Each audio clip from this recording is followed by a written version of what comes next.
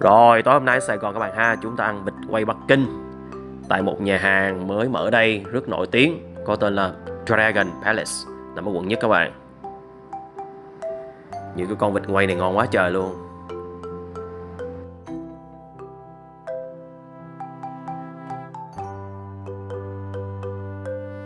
Và vừa ăn chúng ta vừa xem múa nha, Tiết mục múa này rất giống tiết mục múa đôn hoàng nổi tiếng ở bên Trung Quốc.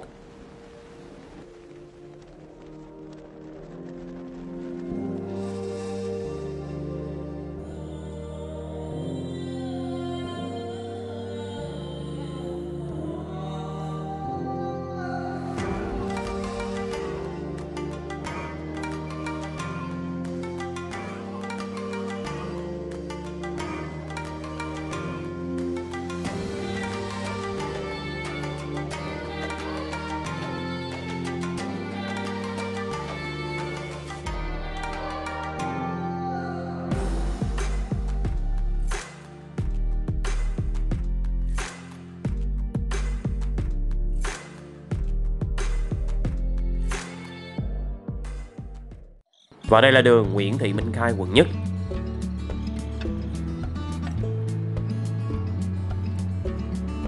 Bây giờ chúng ta chạy thêm chút xíu nữa thì sẽ tới nhà hàng Dragon Palace. Nằm bên phía tay trái các bạn ha.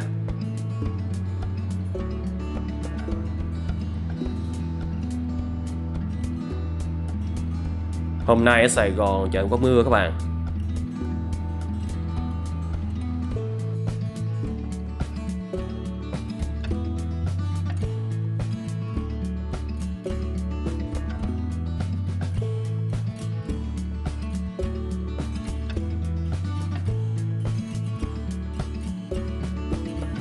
Rồi, chuẩn bị tới nơi các bạn ha, Mình góc tay trái nè.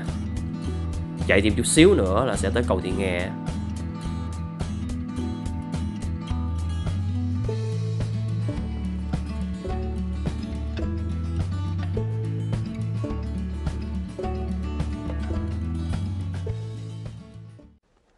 Rồi, chào các bạn, hiện tại là khoảng 7 giờ tối ngày 6 tháng 7 2023 đây là số 2 bis Nguyễn Thị Minh Khai quận nhất. Tối hôm nay chúng ta đến đây.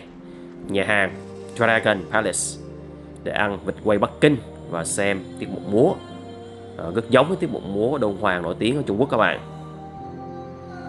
Chúng ta chuẩn bị bước vô nha. Múa lúc 7 giờ các bạn. Ngày 5 tháng 7 thì uh, live music nhạc hoa thần thoại. Ngày 6 tháng 7 hôm nay là khúc Long Cung. 7 tháng 7 là hí kịch. 8 tháng 7 Uyên Ương.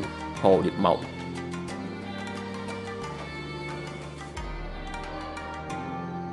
Ở đây họ mở cửa từ à, 11 giờ sáng tới 2 giờ chiều và từ 5 giờ chiều tới 10 giờ tối. Rồi bây giờ các bạn chuẩn bị xem tiết mục múa nha.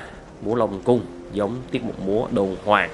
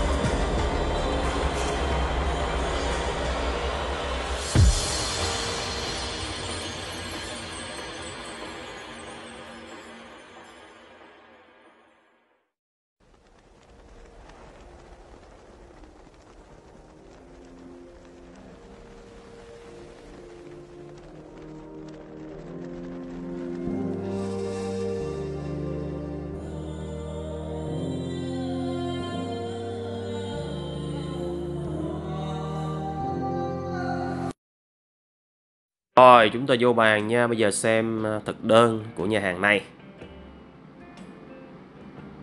Đây là một nhà hàng chuyên về món Quảng Đông các bạn. Tuy nhiên sẽ có món vịt quay Bắc Kinh. Bây giờ các bạn xem nha. Đầu tiên chúng ta thấy món signature ở đây là Canh bí tiềm hải sản tứ bủ có giá 250.000 đồng. Cái thực đơn rất là dày các bạn. Món thứ hai sò điệp khô thịt gà lòng trắng trứng 228 ngàn.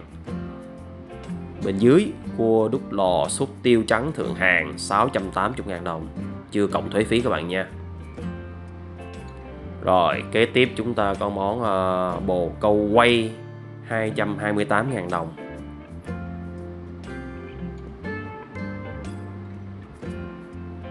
Qua nữa chúng ta có Tôm đúc lò tiêu hộp 380.000 đồng Có được 8 con. Ở đây chúng ta sẽ có món Gà hấp quý phi sò điệp khô 288, 350 cho 620 620 là nguyên con đó các bạn. Rồi Hải sâm bông bóng cá vi cá. Ở đây à, bóng cá tươi hầm sốt bào ngư có giá 800.000 đồng.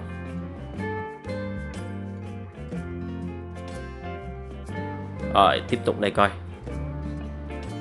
Súp vi cá hồng xíu chung 1 triệu 380 ngàn đồng.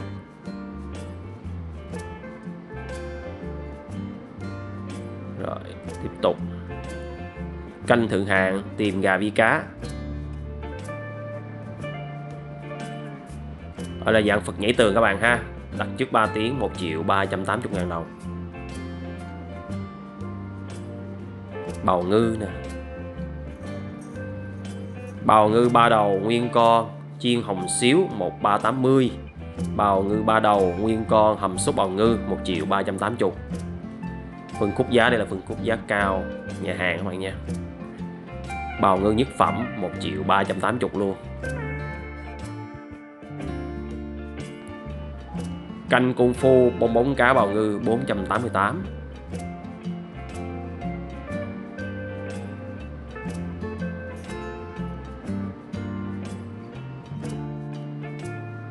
Rồi, ở đây là món Tôm chiên sốt mazone Cơm giòn 398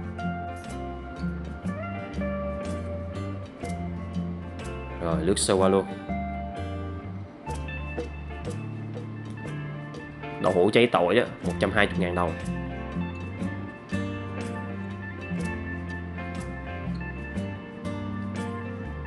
Hải sâm nóng đông cô hầm kiểu cổ truyền 380 ngàn. Rồi món chính hôm nay các bạn nha. Hôm nay sẽ là món vịt quay Bắc Kinh. À, Nửa con là 450 Nguyên con là 820 Hiện tại họ đang chạy chương trình khuyến mãi là giảm 30% cho con vịt. Tuy nhiên các món chế biến phụ sẽ có tính tiền thêm rồi có heo quay nữa nha. Heo sữa quay. Tiết mục múa hồi nãy là dài khoảng độ 5 phút các bạn. Cơ bản là trang phục tốt Múa tương đối được. Chứ xuất sắc thì không xuất sắc. Rồi đầu tiên chúng ta gọi một uh, Mình chào bủ lĩ các bạn nha. Chào bủ lĩ này thơm. Bây giờ chúng ta sẽ đợi món Món vịt quay Bắc Kinh Với uh, mì xào vịt nha mình gọi đúng hai món vậy thôi. Mình quay lại tiết mục múa hồi nãy các bạn nha. Nói chung là nó bình thường chứ không có xuất sắc gì. Xem xong nó không có lưu lại một cái ấn tượng để rồi chúng ta sẽ phải quay lại để có tiếp những tiết mục khác. Đây món đầu tiên chúng ta có ha bánh phồng. Kế bên là con vịt quay bắc kinh các bạn. Bây giờ chúng ta sẽ đi ra xem cái uh, sắc cái phần uh, da vịt đó đây nguyên con vịt là cái phần da rất là ngon các bạn ha. Vịt quay bắc kinh thì à, ngon nhất chính là cái phần da đối với mình. Ở đây sẽ củ bánh tráng thì à, sẽ có thêm cái phần à, dưa leo với lại gọi là hành đó, đầu hành đó. rồi các bạn lưu ý ha. Vịt quay Bắc Kinh này thực ra mình ăn cũng khá nhiều lần đầu tiên là mình ăn ngay tại thủ đô Bắc Kinh của Trung Quốc năm 2011 uh, gần đây nhất là mình ăn tại nhà hàng văn hoa ở trên đường ờ, Tản Đà quận 5 ăn với uh, chú Hùng. Rồi uh, mình có một lần ăn ở bên quận 7 ở đây các bạn thấy là cái phần da vịt nó mỏng bên dưới sẽ có một cái lớp mỡ tương đối mỏng luôn. Cảm giác là cắt cái da vịt đã ghê luôn á đây chúng ta cùng nhìn xuống nha. Toàn bộ cái phần da vịt này sẽ được uh, cuộn bánh tráng các bạn. Nhúng chút xíu cái phần tương tươi này tương ngọt. Có thêm cái phần ờ, uh, đã mình nói nha dưa leo với lại uh, cái đầu hành nè. Ở đây cái phần giá của cái con vịt đó là bao gồm cái phần uh, bánh tráng cuốn đầu hành này các bạn. Còn cái món mì tính riêng nha phụ phí á. Hồi nãy như họ nói là trăm rưỡi sau khi mình ăn xong mình sẽ tổng kết số tiền các bạn xem.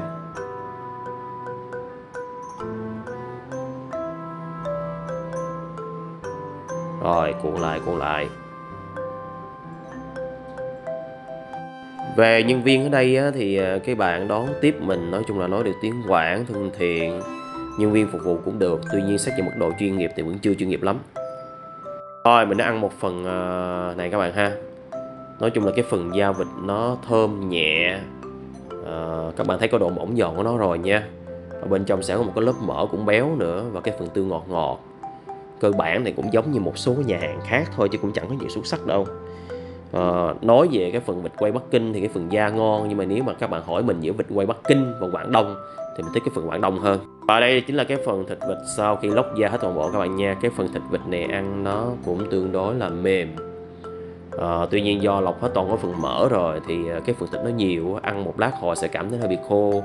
Và cái độ ngọt của cái thịt này thì không có ngọt lắm các bạn mình thấy sao mình về cái phần thịt của cái con vịt này?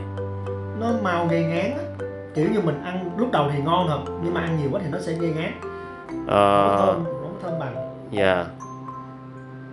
thực tế là mình chỉ ăn một phần thôi các bạn còn một phần khác là mình nghĩ là khả năng mình sẽ mang về á cho cái phần bánh cuốn cuộn cái phần da vịt đó do nó cũng sẽ gọi là nó cái lượng mỡ thực ra cái phần này khoảng có độ 4 người ăn đây, quay cận cảnh hơn chút xíu các bạn xem.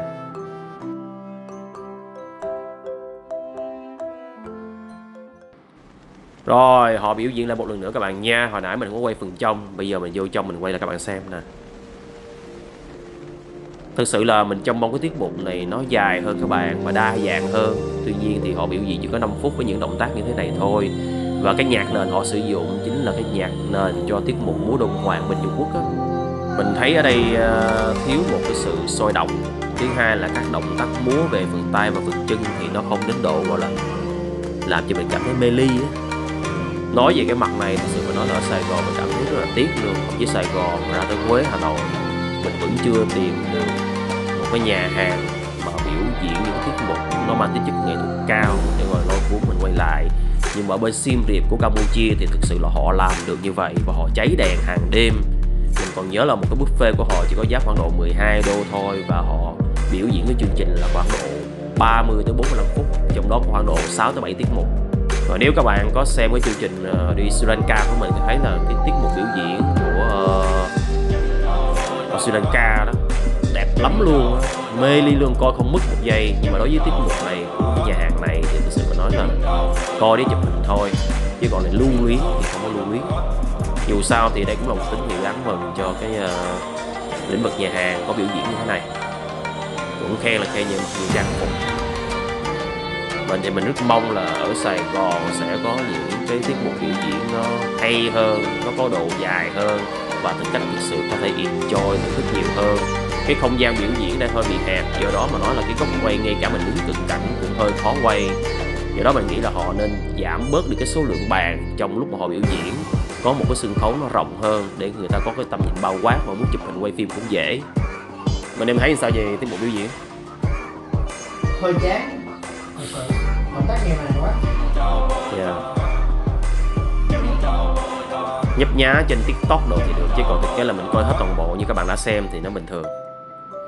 Rồi đây là phần cuối cùng các bạn ha. Đây là dĩa mì xào với thịt vịt thì ờ, cái cọng mì đây họ sử dụng là cọng mì nhỏ xào từ nó là thơm.